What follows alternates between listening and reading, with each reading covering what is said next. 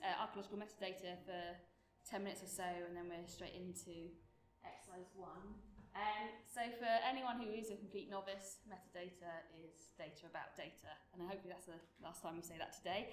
And much of our metadata is in our um, recording manuals and our specialist methodologies, and uh, what those do uh, is provide us with the, method, uh, the methodology of what we did and how we came about with that data, defining the data and the thesauri that support that data and what that da uh, data is. Um, so the good news as archaeologists is that we're well rehearsed in this. In fact, in some respects, we almost get complacent about, about our data because we're so used to um, understanding what the uh, terms are. Further metadata needs to be recorded so that the repository um, can understand, uh, or anyone using the archive can use uh, understand it as a collection, so that the repository can preserve it, and so that the, uh, there is security of exactly what the data was when you transferred it to the repository. Um, here's an example of what happens when you start to strip your data off your pro forma and remove it from its context. So here, the stratigraphic, con uh, stratigraphic matrix my favourite one for completely my head in, um, gives it the, the context that these are above and these are below. But once you start to define it in cellular data, what is above and what is below uh, is all depends on the, the field definition of that sentence. Is the sentence this context is, or is the sentence these contexts are above or below? And so the data, you end up with a roots or tree uh, matrix depending on how you decided to translate that or how depending how you decided the archaeologist was define that word. Here's another one that was in case um, I made my point enough.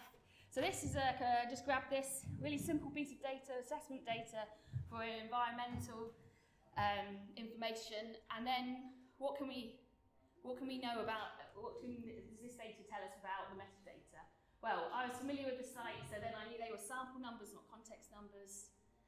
I did have access to the assessment report, so I started to understand that that is not count, that is frequency, and then I actually understood how frequency was defined as well.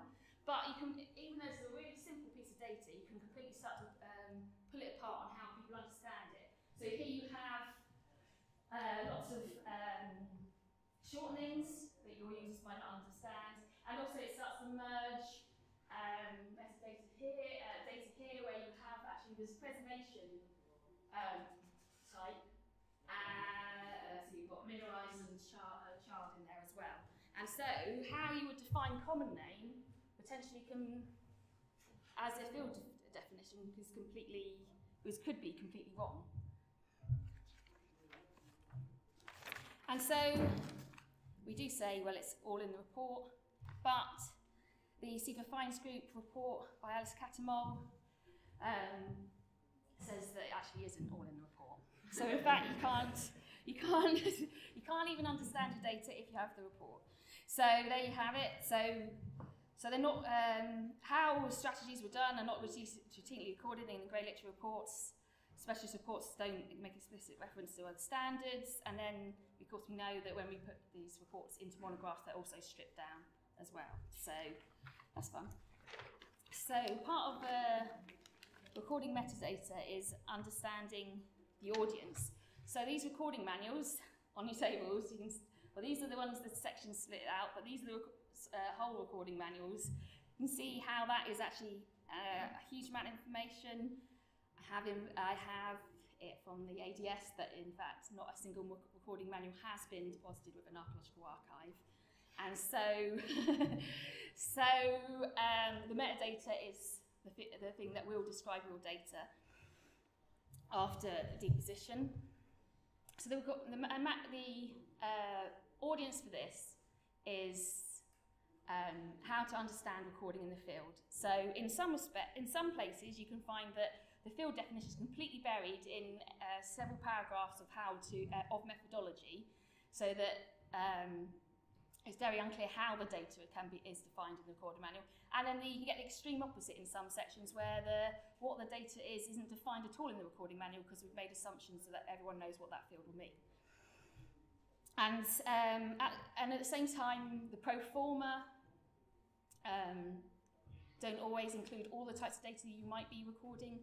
You, uh, the same way you're limited to those two sheets of A4 um, or two sides of A4, and so Proforma merges data which should be autonomized, and so the Proforma, even referring back to them, doesn't always explain all the data that you have recorded. Um, and it's a bit the same on digital recording, and how we, as soon as you start to run out of column space across your screen, you start to shorten your field definition names, and therefore what actually the, what um, actually should be in there can be like a need to explain what your data is, or can almost be a full sentence, but in, some respects you might just record it down to a single letter. Um, and that's why metadata is so important. And then really, what, if you look at it, and look at the recording manuals we have in the middle, and then and also the limited amount of recording manuals I've managed to collect for finds and Enviro, you can see that these recording manuals exist for a reason, is to explain to many so that they can record at the same time um, record to the same standard at the same time. And when you get into the specialist data, you start to see that, that uh, the parts of those recording manuals are, have a lot less uh, um, definition in them. And because they are, as people start to make the assumption that you're recording for a single, one person is recording for themselves. And so um, that is the, where our metadata is held, but until we transfer it into metadata templates, we can't understand the data. So today we're trying to create a soft standard as well as getting familiar with metadata creation and what how you need to express something. Um, so these are, very quickly because this is part of exercise one, the uh, metadata templates that the ADS require. Audio, audio and visual doesn't have a metadata template, you have to call you up. And thankfully I haven't had any audio visual. and um, wasn't on VHS anyway. And so, and then this is the, uh, again, these are the, uh, these are the fields that you need to fill in for spreadsheets, and it's very similar to tables with further definition of key, you know, primary keys and that kind of thing. But so what we're focusing on today is the field name, what we just how we name your field, and how you then describe that field. And we are not going to go into, really simple and obvious, like grams and, um, and litres and that kind of thing, we're not going to go into the thesauri, but it might be worth, as we do this, marking up where a thesauri is needed on, a, on an in-field definition. Because that, I think recording manuals at this point can be very similar, but once you get into what thesauri are using, they're, they're separate, and that's, that is for uh, another, another, um, um, so the other fields you have give you the security this is what it is, tells the person what the whole uh, file is supposed to be, to be uh, supposed to cover, and then it gives it uh, the, the, your repository, the just, oh, short code of standard space, the ADS, the, um, is uh,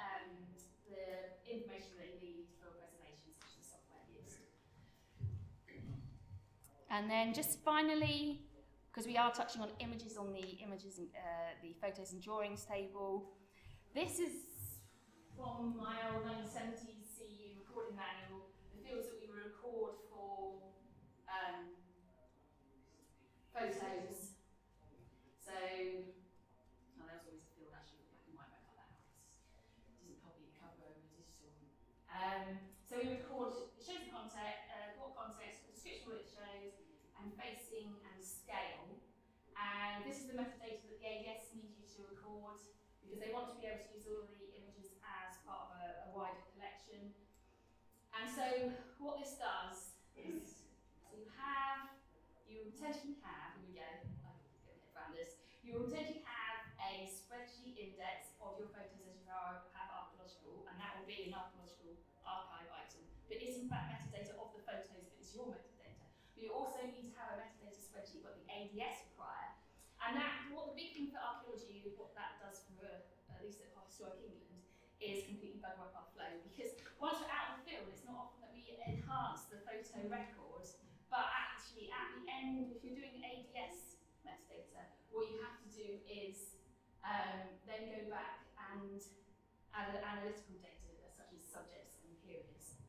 Um, and so that is just something to think about how that changes your flow. And maybe that's one of the reasons why we're struggling to do metadata because you have to think about uh, as a task, that's quite a big task, can be quite a big task to do. And so if you're not resourcing that at the end,